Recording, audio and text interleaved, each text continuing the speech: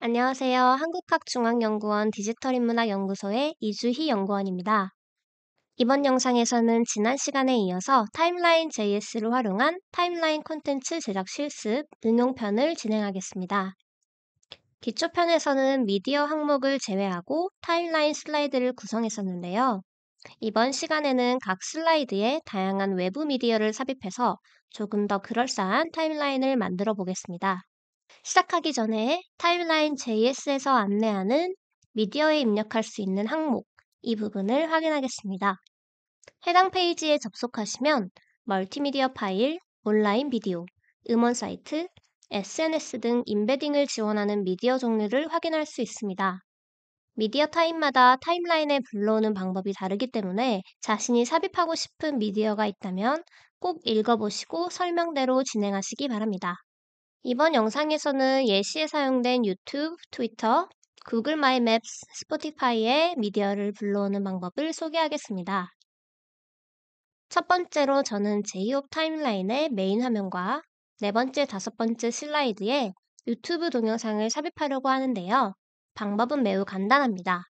유튜브는 해당 영상 페이지에서 공유하기 버튼을 누른 후에 일반 공유 링크가 아닌 iframe으로 시작되는 embed 코드를 복사해서 불러올 수 있습니다.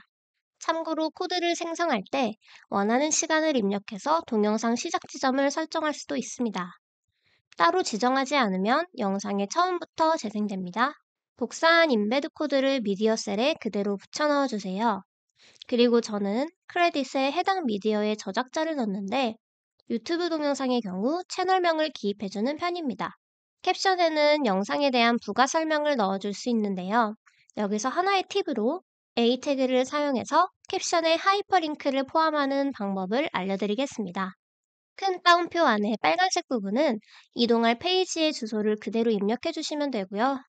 초록색 텍스트는 이동할 링크의 제목을 지정해주는 부분인데 보통 하이퍼링크에 마우스 커서를 가져다 대면 뜨는 텍스트가 있죠? 그 부분에 해당하는 타이틀입니다. 파란색은 타임라인 슬라이드에서 미디어 아래에 표시되는 캡션의 텍스트이고 저는 웬만하면 타이틀과 표시되는 캡션의 내용을 동일하게 써주고 있습니다. 이렇게 색으로 구분된 부분만 바꾸시고 이 코드를 그대로 사용하시면 되겠습니다. 미디어 삽입 방법 두 번째로 트위터에 트윗을 삽입하는 방법입니다. 불러오고자 하는 트윗의 공유 링크를 복사해서 동일하게 시트의 미디어 항목에 붙여넣기 하면 되는데요. 여기서 주의할 점은 복사한 링크에서 물음표로 시작되는 뒷부분을 삭제하고 앞부분에 고유한 URL만 넣어주셔야 됩니다. 다음으로 구글 마이맵스 지도를 삽입하는 방법입니다. 구글맵 페이지에 접속해서 생성된 지도 정보란의 우측 상단 점 3개 더보기를 클릭합니다. 내 사이트의 삽입 버튼을 클릭하고 HTML 코드를 복사해서 구글 스프레드시트의 미디어 항목에 그대로 붙여넣기 하면 성공입니다. 네 번째는 인스타그램 게시물을 삽입하는 방법입니다.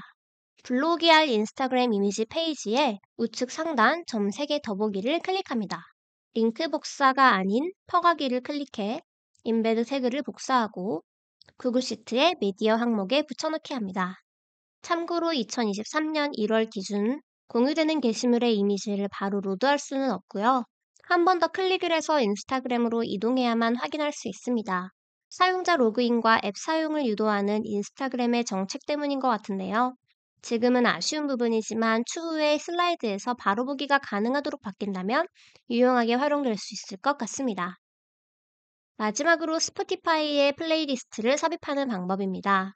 불러올 스포티파이 플레이리스트 페이지에서 공유 버튼을 누르고 플레이리스트 링크 복사를 클릭합니다. 공유 링크를 복사해서 구글 시트의 미디어 항목에 그대로 붙여넣기 하면 됩니다. 이때는 유튜브의 경우와 반대로 플레이리스트 삽입하기를 통해 embed 코드를 복사하면 타임라인에 로드되지 않으므로 꼭 일반 공유 링크를 수정 없이 그대로 시트에 기입해야 합니다. 여기까지 Timeline JS의 외부 미디어를 삽입하는 방법을 설명드렸습니다. 입력이 완료된 시트를 타임라인으로 미리 보게 하는 방법은 이전 강의와 동일하게 진행하시면 되겠습니다. 모든 미디어 종류를 다 알려드리지 못해서 아쉽지만 설명만 읽고 잘 따라해도 손쉽게 embedding 할 수 있다는 것이 Timeline JS의 장점이기 때문에 여러분들도 본 강의를 참고하셔서 자신이 원하는 주제의 타임라인을 한번 만들어 보는 것도 좋을 것 같습니다. 그럼 여기서 오늘의 강의 마치도록 하겠습니다. 감사합니다.